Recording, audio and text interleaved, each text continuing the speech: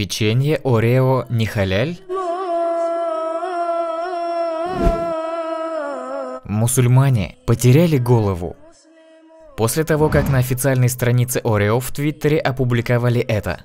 Спасибо за ваш вопрос. Печенье Орео не халяль.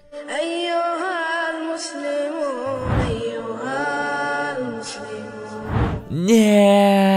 У меня еще остались пакеты с Орео. И почему Орео? Почему? Мое сердце разбито. Лучше б я этого не видел.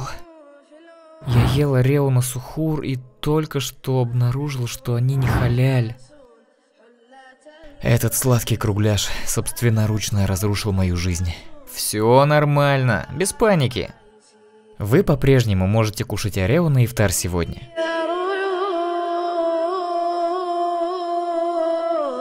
И даже на сухур. Хотя вам бы надо есть более здоровую пищу. Орео на самом деле халяль, просто они не сертифицированы как халяль. Дорогие Орео, вы полностью халяль. Определение халяльности продуктов предоставьте ученым. Хорошего дня, буду кушать вас на ифтар.